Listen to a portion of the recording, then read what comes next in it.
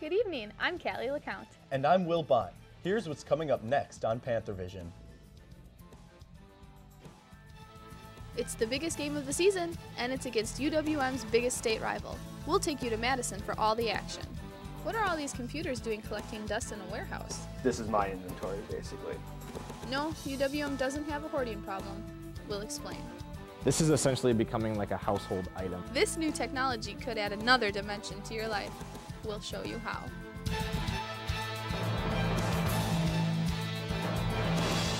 From the University of Wisconsin-Milwaukee, this is UWM Panther Vision.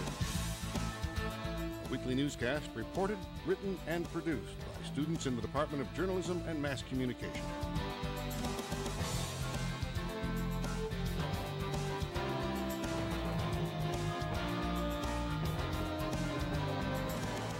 And now, the news. Good evening. UWM is making Horizon League history again. The women's volleyball team won the conference championship game yesterday. That means UWM has taken the tournament crown in three fall sports, and that's a Horizon League first.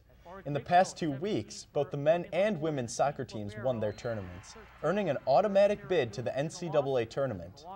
The only other school to achieve this feat is UWM in 2002. The men's soccer team drew a familiar and hated opponent.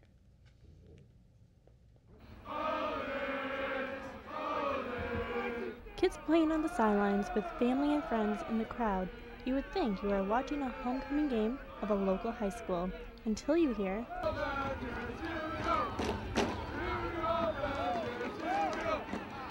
The University of Wisconsin Madison has seen a rich tradition since being found in 1848, giving their students and alumni a point of pride. But when does it go too far? Coach Chris Kellerman says they're a complete team. We had to push a little bit more offensively.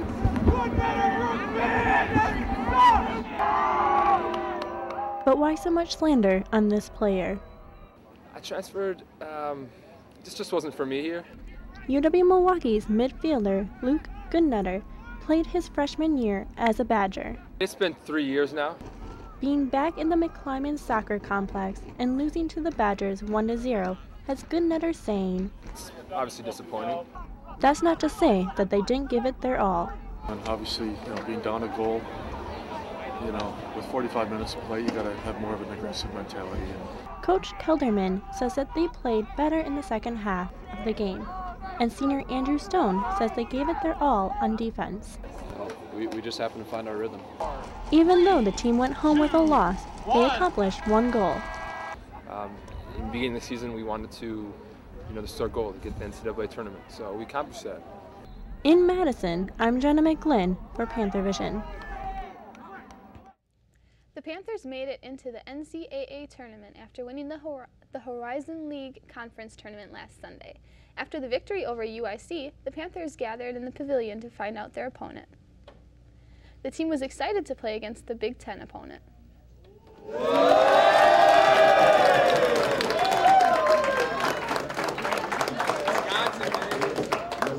well, it's exciting. You know, we're playing against a team that uh, you know we're fairly familiar with. Um, it's exciting because it's in our home state. It's an opportunity to, um, you know, have. Season. UWM is not in compliance with the Higher Education Opportunities Act. Among other things, the Act requires universities to make textbook information available to students at the time they register for classes. The first day of spring registration was November 18th, but only one third of course book adoptions were publicly available. The consequences for noncompliance range from a fine to loss of federal funding. The provost is ordering all deans and department chairs to submit a compliance plan by December 6th. A new study shows more than half university faculty and staff are dissatisfied with the amount of training they receive for an active shooter situation. The survey was done by the organization Campus Safety, which bills itself as a technology resource for security, police, and administrators. Their nationwide poll shows 32% of administrators, faculty, and staff say they are somewhat unsatisfied with the amount of training they receive, and 23% said they are very unsatisfied. As we've been reporting, UWM does not require active shooter training for its employees, And even though students tell us that they have no idea what to do, UWM does not show an active shooter preparedness video at freshman orientation. One top university official told us they don't show the video because they don't want to scare people, or, in his words, make parents paranoid. There are lots of questions about UWM's preparedness, but what about MATC? In tonight's MATC report, Sam Gritzmacher investi investigates the school's safety alert system.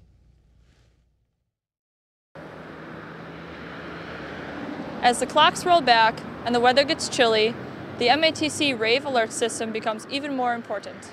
The Rave Alert system is a product that the college uses for emergency notifications to students, faculty, and staff. It could be an emergency situation such as the college is closed due to weather, uh, electrical outage, any kind of crisis, and it's used to alert people uh, that there's a situation and to direct them where they can get more.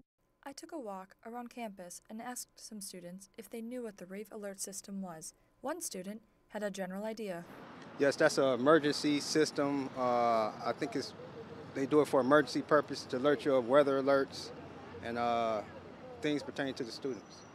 Other students had never heard of it. Do you know what the MATC Rave Alert system is? No, I do not. No, I don't. So, how can the students update where the alerts are being sent?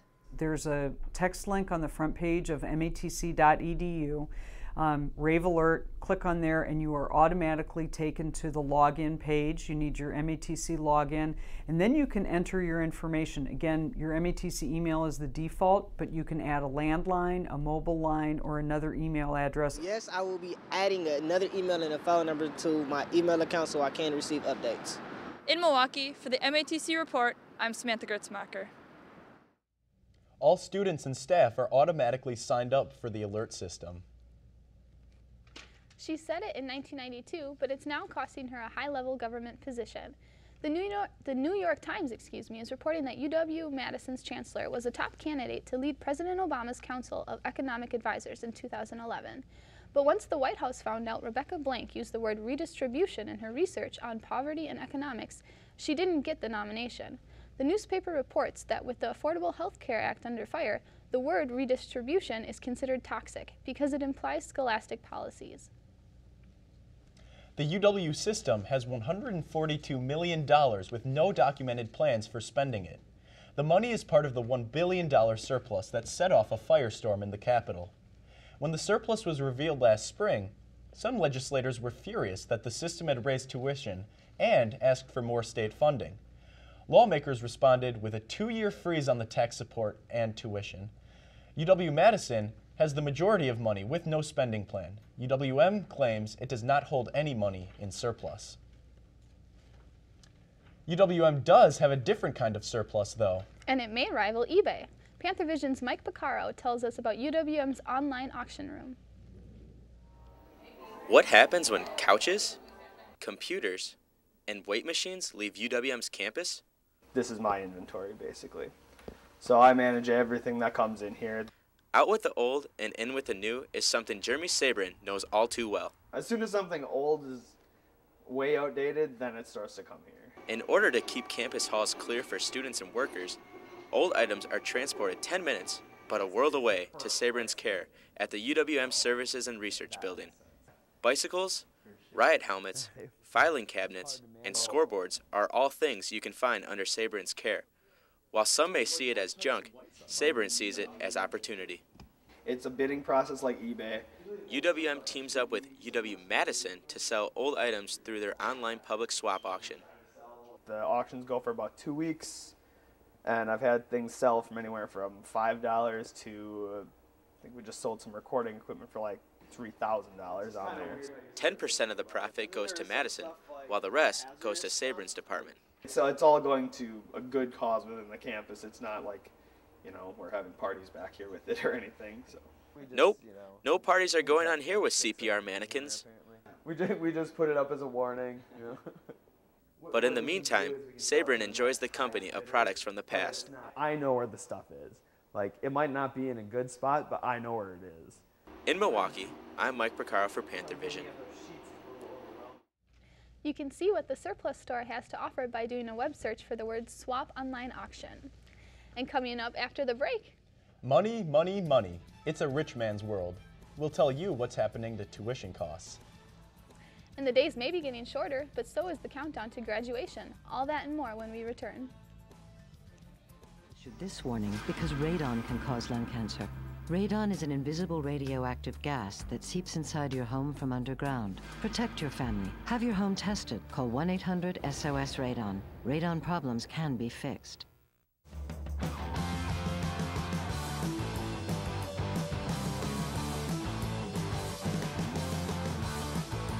This is where powerful ideas lead to proven results.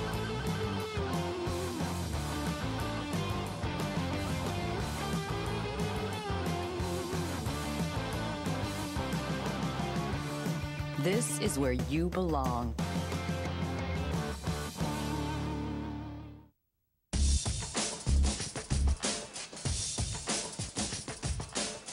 A strong, productive workforce.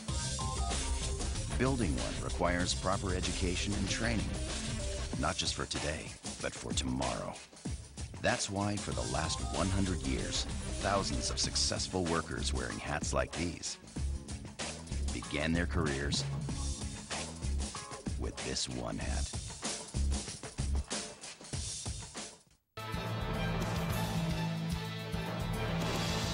Thanks for watching UWM Panther Vision, Judge Best Student Newscast by the Northwest Broadcast News Association.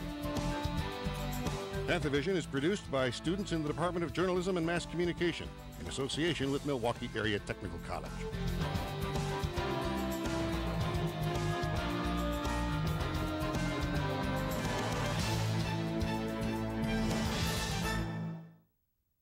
How much is the price of an education?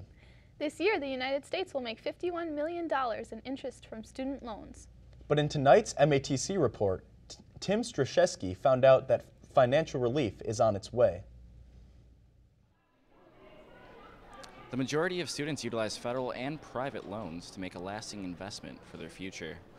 These loans not only come at a high cost to the borrower, but at an extreme economic cost as well. While attending a press conference introducing the Higher Ed Lower Debt Bill, we found out that borrowers with student loan debt are twice as likely to purchase a used car, and they are twice as likely to rent rather than to buy a home. The executive director for the One Wisconsin Institute spoke in support of the Higher Ed Lower Debt legislation. The uh, higher ed lower debt bill is really groundbreaking legislation because, first, it would allow uh, students to be able to refinance their student loans at a lower rate through a new uh, student loan refinancing authority uh, administered by the state of Wisconsin. Second, it would provide uh, substantial tax relief um, for people who are paying student loan debt off.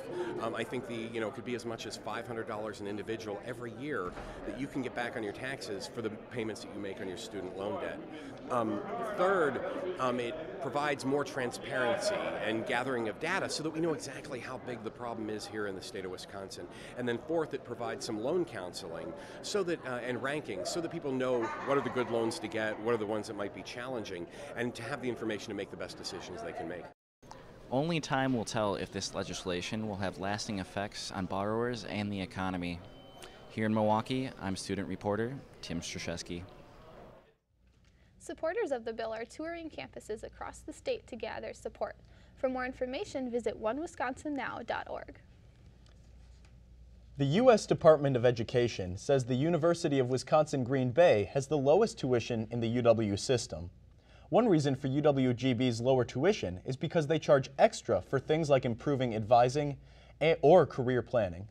While they have the lowest tuition, many other factors go into determining a school's overall affordability. The UW Flex Option program is open for applicants. The program allows students to get credit for what they already know. Two-year colleges and UWM are the first institutions in the state to offer flex degrees. Students enrolled in the program can begin academics starting January 2nd.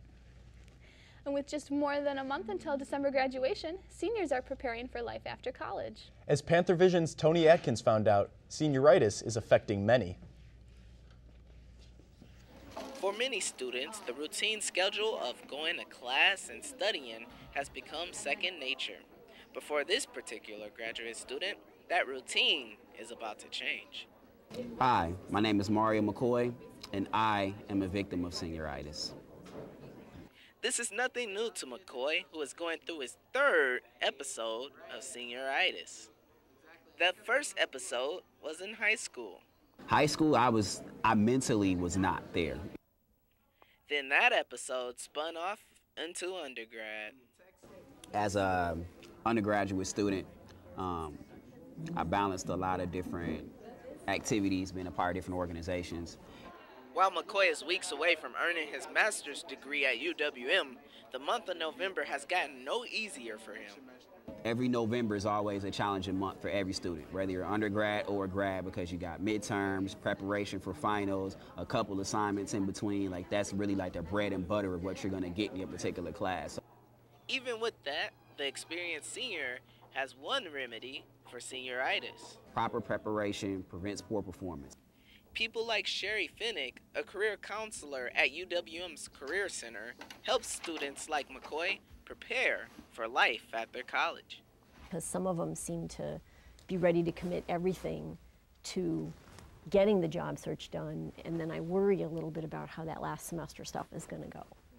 As for McCoy, he is finishing strong, but the end is drawing near. I'd probably say maybe in about a week or two it might click. So. And what's the first thing on McCoy's postgraduate agenda?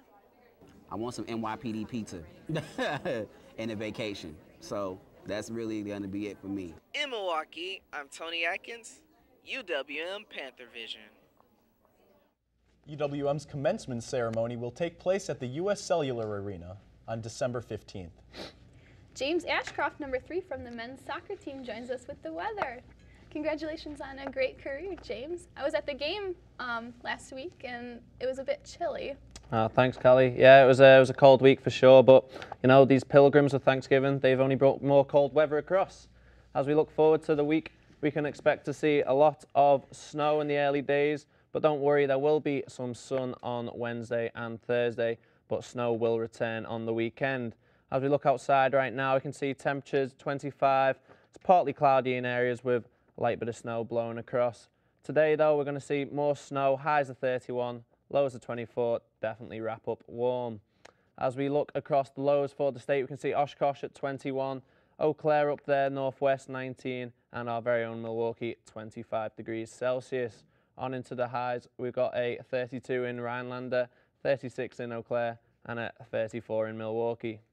Tonight, though, expect more snow, lows of 25, with a wind coming off that lake at 4 miles per hour. It will be chilly. Into tomorrow, we're going to see more snow flurries, highs of 28, low of 19. It's going to be getting very chilly.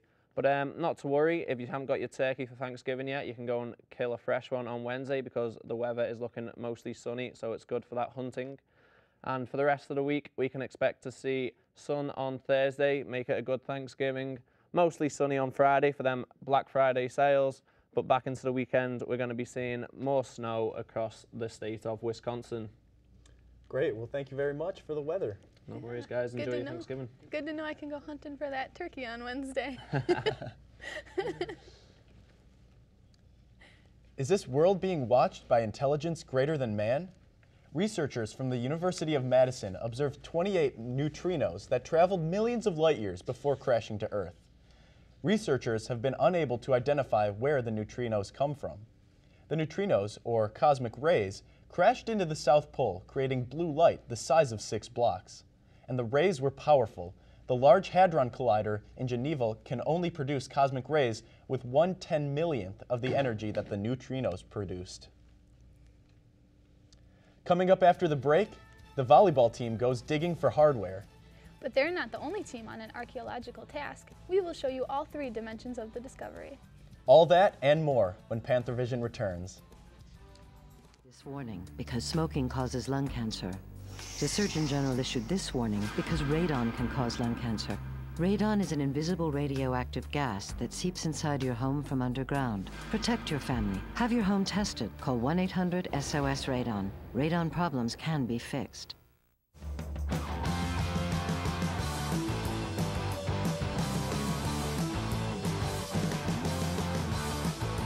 This is where powerful ideas lead to proven results.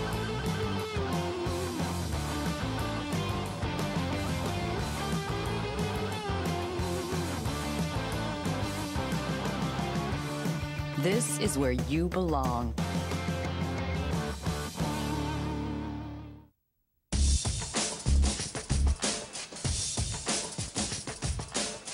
A strong, productive workforce. Building one requires proper education and training, not just for today, but for tomorrow. That's why for the last 100 years, thousands of successful workers wearing hats like these began their careers with this one hat.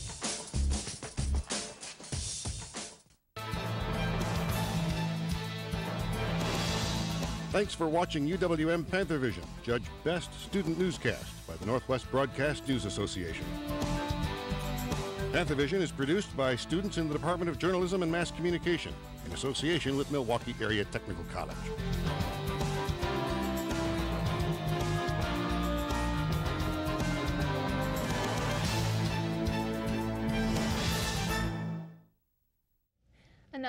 Another Horizon League Tournament Championship.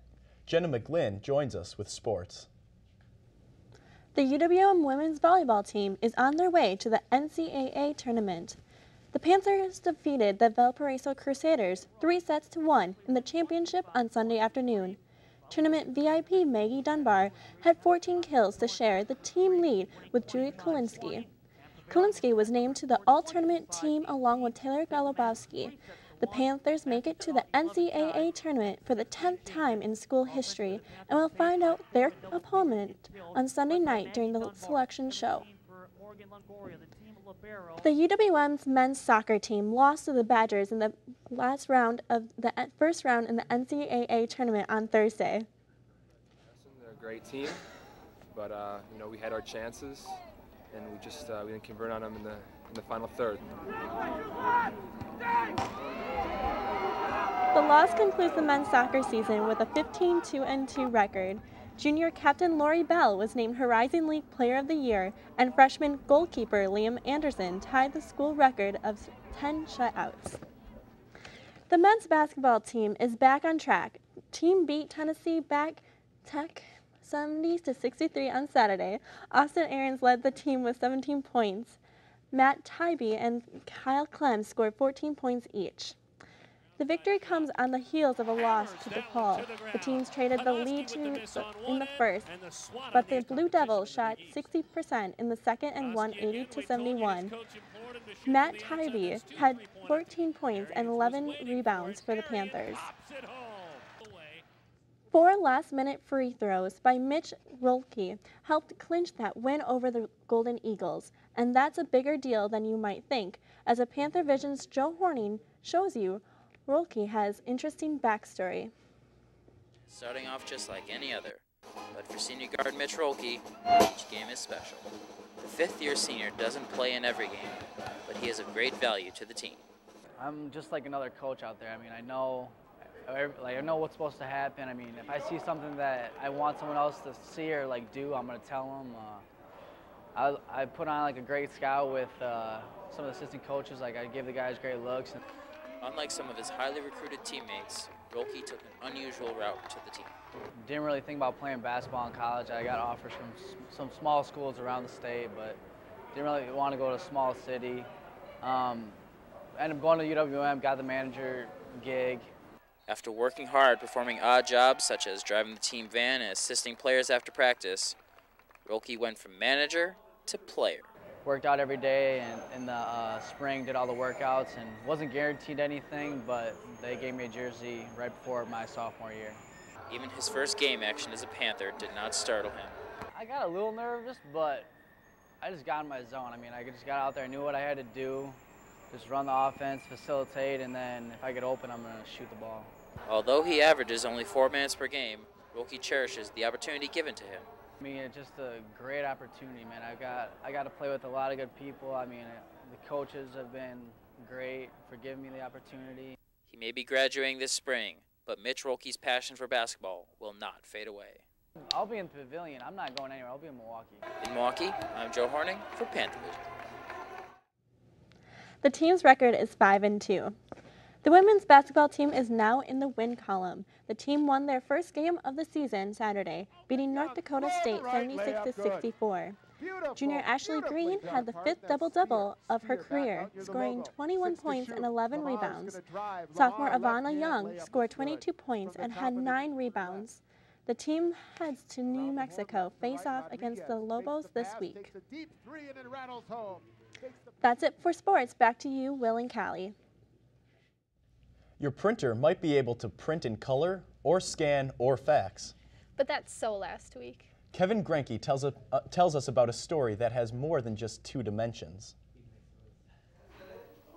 Looking at computer screens all night would make some students brain dead, but Ryan Evers and Gerardo Mora have found a three-dimensional solution where they can bounce ideas off of each other when they hit a wall. It just wakes you up, uh, gets your mind moving again, maybe off the project and that kind of thing. But a new luxury available only to architecture students helps their models take form.